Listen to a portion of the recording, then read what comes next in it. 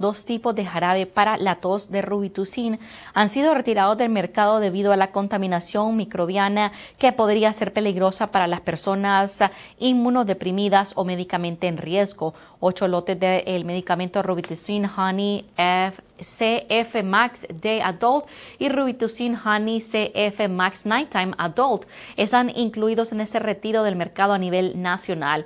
Es poco probable que el producto contaminado cause problemas a las personas que no están inmunodeprimidas, pero las infecciones en las personas inmunocomprometidas podrían ser graves o potencialmente mortales, dijo la compañía de salud global Halion.